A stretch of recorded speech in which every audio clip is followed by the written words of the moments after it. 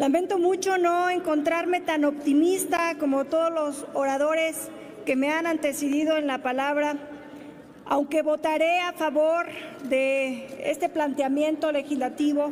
Lo cierto es que la gente está cansada de propuestas que prometen mucho pero que resuelven poco.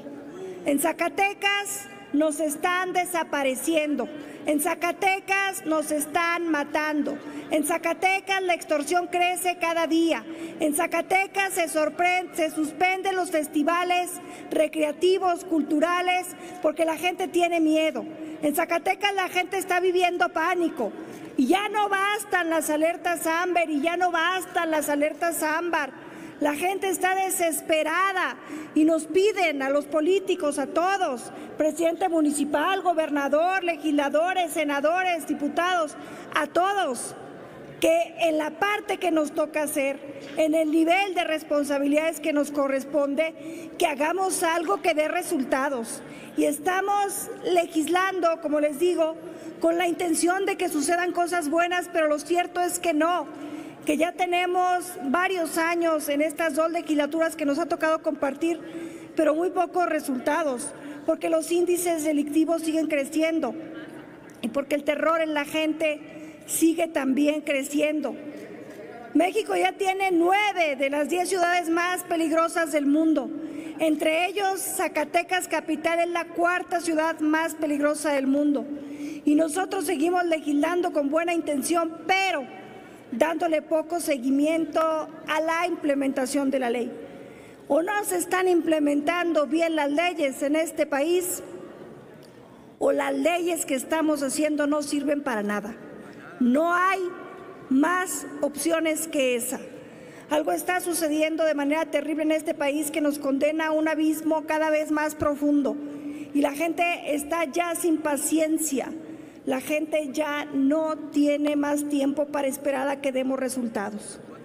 O le vamos a dar seguimiento a la legislación que estamos aquí aprobando o dejemos de estarnos felicitando los unos a los otros, porque los resultados no están en la calle y no están al lado de la gente. Hoy estoy con ustedes en esta tribuna porque el fin de semana tuve un fin de semana territorial en las comunidades, hablando con la gente en Zacatecas. A donde quiera que me paraba me decían, di algo, haz algo, ya no aguantamos, ya no resistimos. Que venga la Guardia Nacional como las olas del mar que llegan y se van, con elementos totalmente perdidos por el territorio que desconocen, porque un día están en Jalisco, luego en Zacatecas, luego en Durango, con una estrategia totalmente errónea una estrategia de seguridad pública totalmente fuera de lugar, centrada principalmente en que la gente pobre es la que delinque porque pues los programas sociales son la base de la Estrategia Nacional de Seguridad Pública y los programas sociales son para la gente pobre y dejándole, dándole una beca dejará de delinquir. Suponer eso es estigmatizar la pobreza y es seguir estando errados, porque además hemos dejado de fortalecer a los cuerpos policiales civiles a las fiscalías y a los poderes judiciales. Y mientras siga habiendo estos altísimos niveles de impunidad, seguirán habiendo todos estos delitos.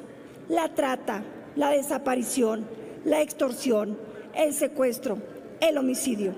Si no damos resultados, no solamente estamos condenando a nuestras comunidades, estamos condenándonos nosotros mismos, porque la violencia cada día está más cerca de nuestras casas, aunque hoy nos sintamos protegidos por la burbuja de un escaño. Piensen en el futuro de México, piensen incluso en su propio futuro. Y no les hablo de un futuro lejano, les hablo del riesgo en el que estamos cada vez que recorremos una carretera. Ya no podemos seguir viviendo con miedo. Asumamos la responsabilidad de darle seguimiento a la implementación de la ley que aquí se vota.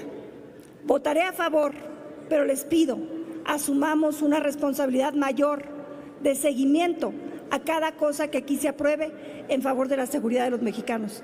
Es cuanto, Presidenta. Muchas gracias.